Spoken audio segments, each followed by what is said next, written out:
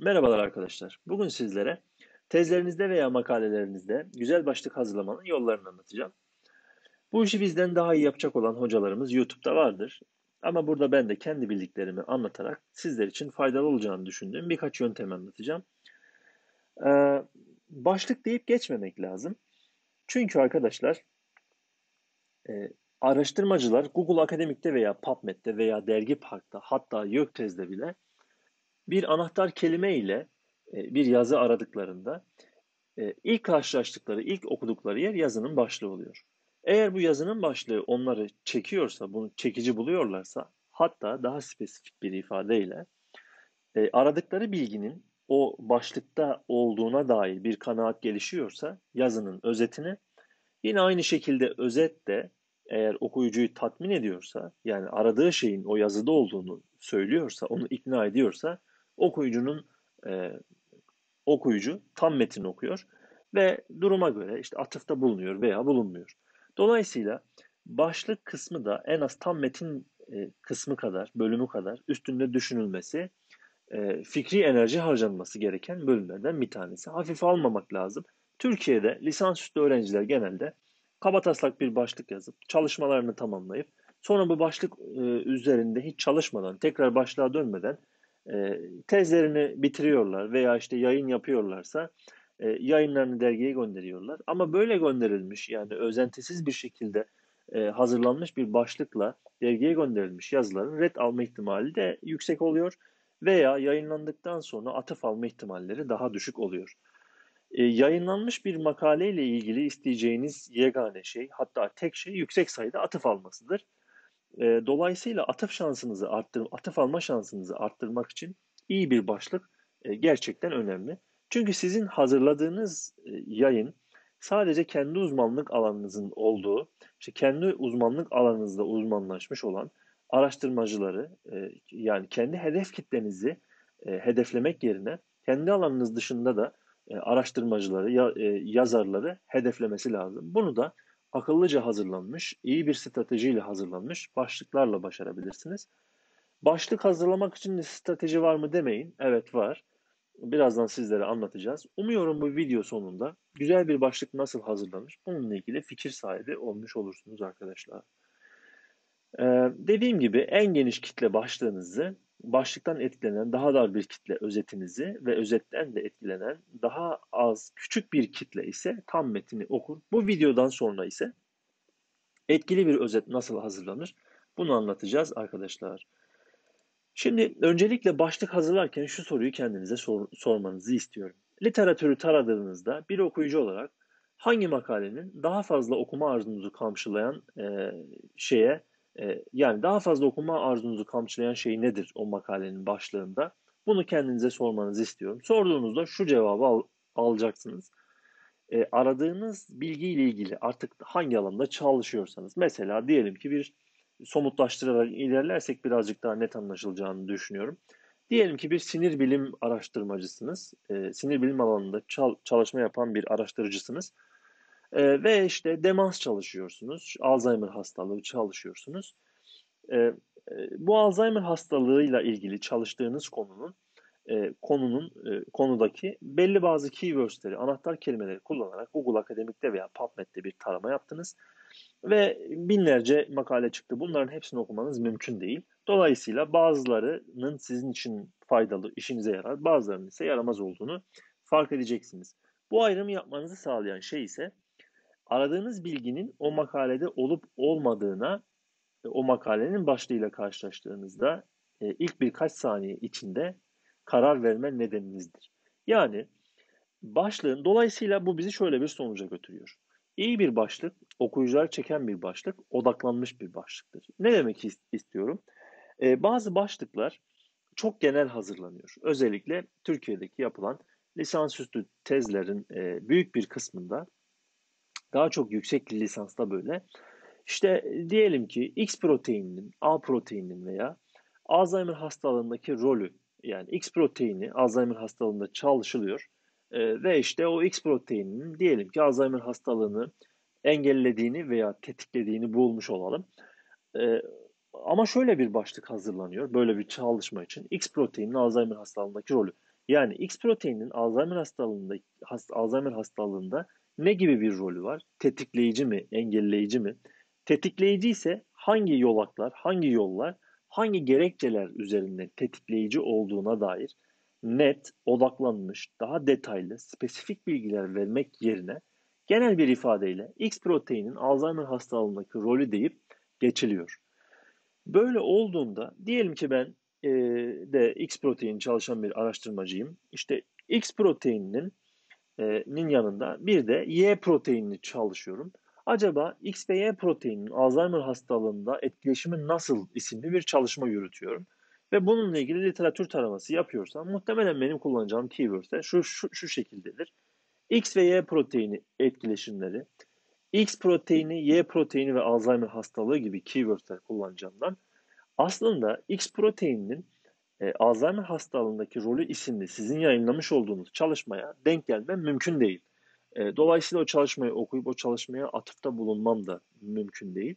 Dolayısıyla e, başlık hazırlarken yapmış olduğunuz böyle küçük ama hayati derecede önemli olan e, bu hata sizin çalışmanızın e, atıf almasına engel olabilir. Dolayısıyla sorumuza tekrar dönüyorum.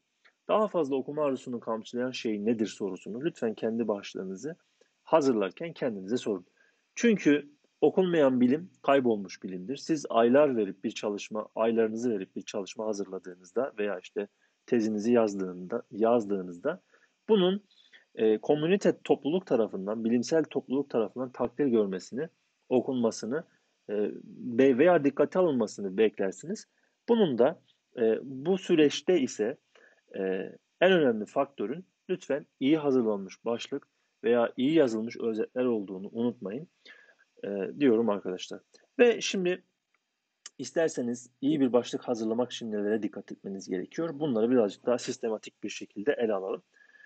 Biz burada 3 e, ana başlıktan bahsedeceğiz. İlki başlığın deklaratif olması hususu.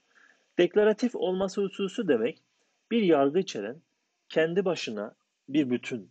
E, yani siz başlığı özetten veya tam metinden ayırdığınızda eksik kalmayan e, dediğim gibi bir yargı içeren bir bütün kendi başına duran e, bir yapıya sahip olması. Yani diyelim ki işte X proteini ve Alzheimer hastalığını yine dikkate alırsak X proteini Alzheimer hastalığını arttırmaktadır gibi bir başlık veya X proteini Alzheimer hastalığını arttırması gibi bir başlık bir yargı içeriyor. Bir bütün. Yani şöyle değil. X proteini ve Alzheimer hastalığı gibi bir şey şeklinde bir, eğer bir başlık hazırlarsak e, bir yargı olmadığından, kendi başına bir bütün olmadığından e, bu okuyucuları birazcık daha az çekecektir. Sizin çalışmanıza veya tam metninize birazcık daha az yönlendirecektir. Böyle bunu böyle bir başlık hazırlamak yerine bir bütün olan, yargı ifade eden, e, dediğim gibi siz onu tam metinden ayırdığınızda kendi başına, kendi ayakları üzerinde duran deklaratif bir başlık olması gerekiyor. İlk şartımız deklaratif olması. İkincisi ise çekici olması. Bu çekici olma hususu bazen karıştırılabiliyor.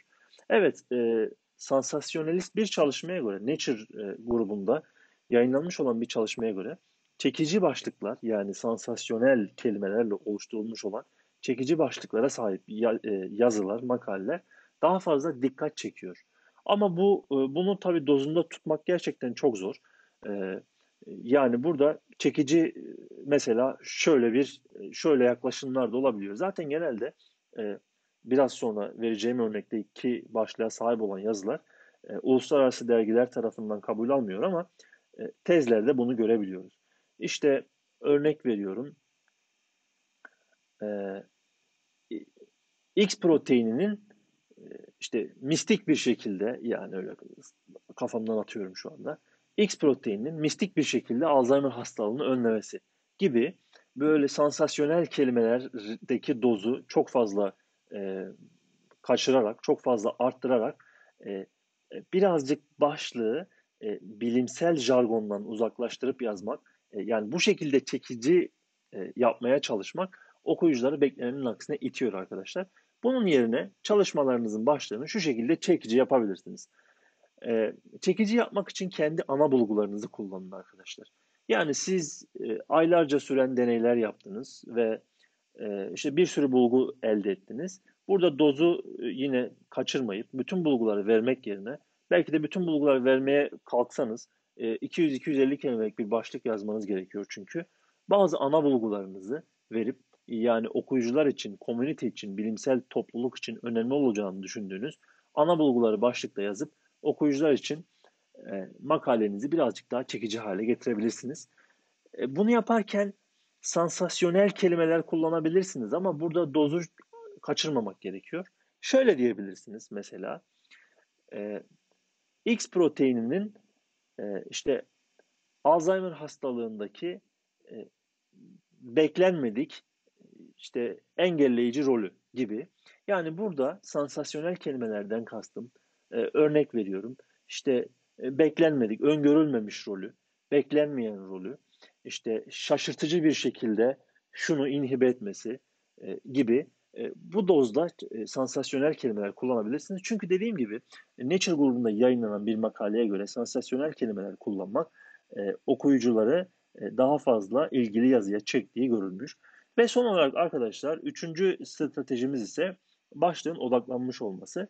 Ee, videonun başında da söylediğim gibi mesela X proteini ve Alzheimer hastalığı gibi bir başlık kullanmak yerine X proteininin Alzheimer hastalığında şu şu şu yolaklar üzerinden engelleyici rolü gibi birazcık daha spesifik yine bulgularınızdan e, biraz ipuçları içeren, bulgularınızı, e, ana bulgularınızı içeren e, daha spesifik, belirli e, başlıklar kullanmanızı öneriyoruz arkadaşlar. Tekrar edelim. Deklaratif olması lazım. Bir bütün olarak e, kendine yetmesi lazım. Çekici ana bulgularınızı e, da içinde bulunduğu çekici başlıklar olması lazım. Biraz da belki sansasyonel kelimeler kullanabilirsiniz. Dozu şaşırmadan. Ve son olarak odaklanmış spesifik bulgular olması lazım. Başlığınızda arkadaşlar. Tabi bunları yaparken dikkat etmeniz gereken e, üç husus var. Bunlardan ilki karmaşık bileşik isimler. Karmaşık bileşik isimler kullanmak okuyucuları yazıdan uzaklaştırabiliyor. Mesela desikatör diye bir cihaz var. Siz bununla ilgili bir deney yaptığınızı varsayalım. İşte desikatörün görevi e, fazla suyu uzaklaştırmak. Bu kelimeyi kullanmak yerine başlığınızda excess water weight remover gibi yani bir kelime yerine dört fazla e, dört tane kelime kullanmak yani üç tane fazla kelime kullanmak hem başlığınızın çok uzun olmasına hem de işte okuyucunun konudan dağılmasına sebep olabilir. E, dolayısıyla karmaşık bileşik kelimeler kullanmak yerine bunların karşılık geldiği kelimeler varsa bunları kullanabilirsiniz. Ama bu her zaman olmayabilir. Yoksa ne yapacaksınız? E, yoksa farklı kelimeler kullanmaya çalışın. E, bunların akronimleri, kısaltmalarını kullanmaya çalışmayın. Çünkü akronim kullanmak da yapılan çalışmalar akronim kullanımının da okuyucuları yazıdan uzaklaştırdığını göstermiş. Tabi burada değinmemiz gereken bir husus var. Bazı akronimler, kısaltmalar yani e, evrensel olabiliyor. Birçok alanda kullanılabiliyor. Mesela DNA kısaltmasında olduğu gibi hem sağlık bilimleri çalışanları hem de fen bilimleri hatta sosyal bilim çalışanları, araştırmacıları da bu kelimeyi, e, bu kısaltmayı bildiğinden bunun gibi çok yaygın bir şekilde kullanılan e, kısa mesela COVID kısaltması e, çok yaygın bir şekilde kullanılan kısaltmaları kullanmanızda bir mahsur yok. Ama arkadaşlar diyelim ki sadece kendi alanınızdaki, kendi alanınızda uzmanlaşmış olan araştırıcıların e, bileceği kısaltmalar, akronimler varsa bunu kullanarak alanınız dışındaki okuyucuları, yazarları yazınızdan uzaklaştıracağınız için. Çünkü sizin burada asıl hedeflediğiniz kitle orası. Çünkü kendi alanınızdaki araştırmacılar zaten e, sizin kullandığınız keywordslerle literatürü taradıklarında sizin makalenize erişecektir. Ama önemli olan kendi alanınız dışındaki araştırıcıları veya yazarları e, veya okuyucuları hedeflemek olduğundan e, kendi alanınıza özel e, kısaltmalar, akronimler kullanarak bunları yazınızdan uzaklaştıracağınızdan bunları kullanmamanız gerekiyor arkadaşlar. Ve arkadaşlar son olarak soru işareti, sondan bir önceki uyarımız soru işareti. Burada ilginç bir durum var. Yine bir e, Nature grubunun makalesine göre soru işareti kullanılan başlıkların sahip olduğu yazılar daha fazla tıklanırken, daha fazla okunurken daha az atıf olan yazıların bu yazılar olduğu görülmüş. Dolayısıyla Nature'ın da bir önerisidir bu. Soru işareti yazıda kullanmak pek de akıllıca bir strateji olmayabilir. E, çünkü dediğim gibi tamam daha fazla tıklanıp daha fazla okunuyor ama daha az atıf alan e, yazıların e, başlıklarda soru işareti kullanılan yazılar olduğu görülmüş arkadaşlar. Ve son olarak maalesef e, uluslararası e, makalelerde çok fazla görmesek bile ulusal makalelerde veya tezlerimizde lisansüstü çalışmalarda sıklıkla ben bunları görüyorum.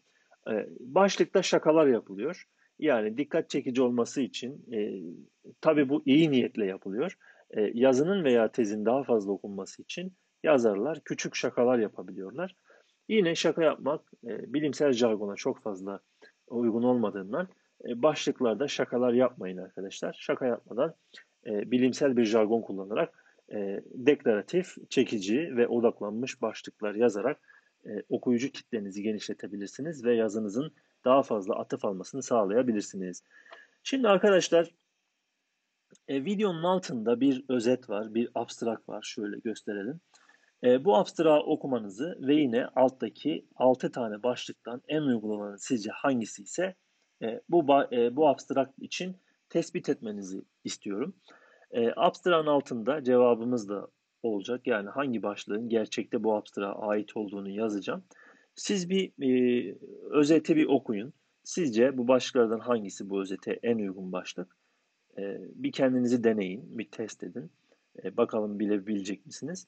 Ayrıca arkadaşlar bu konuyla ilgili daha detaylı bir e, bilgi e, almak istiyorsanız e, Nature Index'te şöyle iyi bir başlık e, How to Write a Good Research Paper Title isimli iyi bir başlık nasıl yazılır? Güzel bir makale var. Bunun linkini de videonun açıklamalarında bulabilirsiniz. Ben bunu da ekleyeceğim. Bunu okumanızı öneriyorum. İşte mesela burada da demiş güzel bir başlık teknik e, dilden, teknik jargondan uzak olmalı. Kolayca aranabilir olmalı ve işte data tarafından desteklenmeli. Yani sizin makalenizde olmayan bulguları ifade eden başlıklardan da sakınmanız gerekiyor. E, ve mera, ilgiyi tetiklemeli gibi e, nasıl çekici başlık yazılır bununla ilgili de kısa bir bilgilendirme bulabilirsiniz. Yine ikinci makalemiz bu konuda yine önemli bir makale. E, bu makalenin de başlığından anlaşılacağı üzere daha kısa başlıkların daha fazla atıf aldığı yönünde bir yargı var e, başlıkta. Dolayısıyla siz de e, size bu makaleyi de okumanızı öneririm. E, bu makalede de ifade edildiği üzere kısa, spesifik, gereksiz kelimelerden arındırılmış başlık kullanımı e, çalışmalarınızın kabul alma ihtimalinde aynı şekilde yayınlanmış yazılarınızın daha fazla atıf alma ihtimalinde artıracaktır arkadaşlar. Bu konuyla ilgili anlatacaklarım bu kadar. E, bir sorunuz varsa videonun altına yazabilirsiniz. Bir sonraki videomuzda e, iyi bir özet yazmanın ipuçlarını anlatacağız. E, lütfen videoyu beğenmeyi, kanala abone olmayı ve paylaşmayı unutmayın arkadaşlar. Kendinize iyi bakın, hoşçakalın.